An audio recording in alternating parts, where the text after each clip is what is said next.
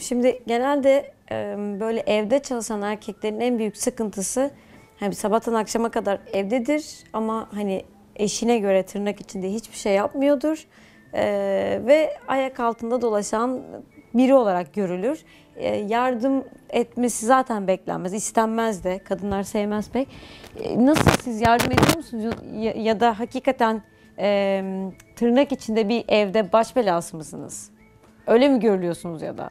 Bunu eşime sormanız lazım ama ben e, ev hayatından memnun değilim. Yani bir erkek evde olmamalı. Günün belli saatlerinde dışarıda olmalı. Kadını da rahatlatmalı değil mi? Kadının da e, kendisini rahat hissetmesi gerekir. Yardım konusuna gelince ediyorum tabii. Mesela. Yani bazen merhamete geliyorum. e, işi çok bunal yani bunalmış oluyor. Mesela çamaşır toplamak, e,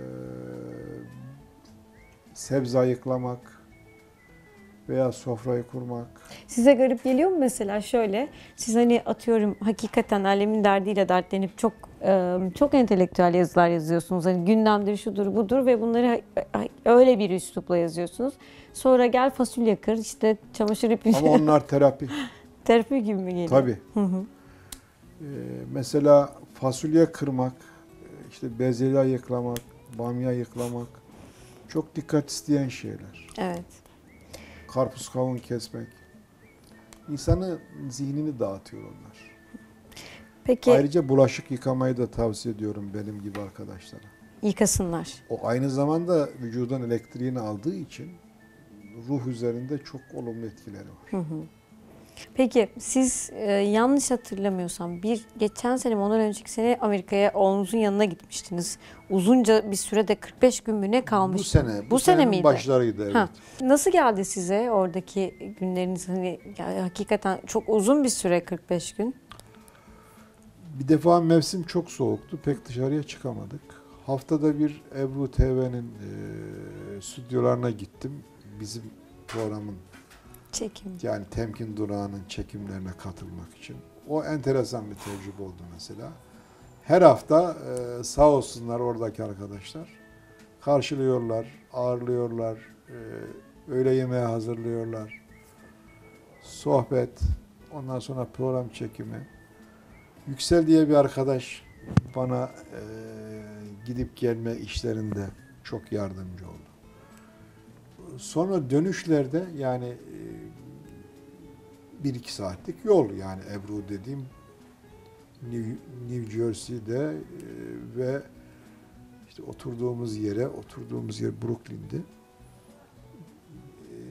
kış şartlarında bir iki saatlik yol. Dönüşlerde mall dedikleri bu Hı hı. alışveriş merkezlerine gidiyorduk. Bunu da yazmıştınız sanki. Evet benim özellikle aradığım şeyler vardı. Kıyafet. Mesela saraçlık malzemeleri vardı. Ne, ne malzemesi? Saraçlık. Hı hı.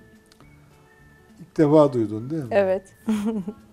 Bu meşinden çanta, e, kılıf vesaire yapılma işleri. Eskiden at, at Bunu koşulları. yazmıştınız hatırlıyorum. Doğru. Ee, ama şeyi hatırlayamadım Onların kelimeyi. malzemelerinin peşinde koştuk. Ee, Bayağı uğraştık. Çünkü burada olduğu gibi orada da bu artık bu zanaat dalı ölmüş. Hı hı. Bu esnada e, böyle çeşitli sürpriz, sürprizlerle karşılaştık. Mesela saraç malzemeleri satılan bir yer diye gittiğimiz yer e, at biniciliğine meraklı insanların bütün ihtiyaçlarını karşıladığı çok büyük bir mağaza çıktı mesela. Hı. O o beni mest etti. Buldunuz mu her şeyi? Yok aradıklarımızı bulamadık. Bunların hepsi yapılmış halde. Mesela boy boy eğerler, mahmuzlar, çizmeler, kepler, Hı hı. işte o e, giyilen ceketler, e, at koşumları filan e, müthiş bir zenginlik. Peki oradan ne alıp döndünüz? Oradan ne alıp döndük? Ee, bir kutu tatlandırıcı veya iki kutu tatlandırıcı getirdim. Bulabildiğim kadarıyla saraç malzemesi yani buldum neticede ama e, internet üzerinden bulduk. Peki ne yapıyorsunuz? Onlarla e, isteyenlere yani çevremden isteyenlere işte telefon kılıfı, iPad kılıfı, kemer, çanta gibi şeyler yapıyorum. Siz mi yapıyordunuz onları? Ne yapıyorsunuz ya da? Ben ben yapamıyorum. Yani yapamayan benim ve yapamamak da bir faaliyet benim için. Aslında yapıyorum ama e, yaptığım iş benim çok hoşuma gitmiyor yani. Dört dörtlük iş nadiren çıkıyor basit işler. Yeni e, tabii ev ortamında aletler hep e, çekmecelerde falan olduğu için yani yeniden onları dizmek, toplamak falan da zor oluyor. Evet. Tabiatım da aceleci. İşçiliğim de kötü ayrıca. Ama kendim için yapıyorum. Uğraşıyorsunuz. Evet ve onunla uğraşırken de başka hiçbir şeyle meşgul olmuyorum. İyi oluyor. Bence herkes kendisine böyle bir Meşgale bulmalı. meşgale bulmalı.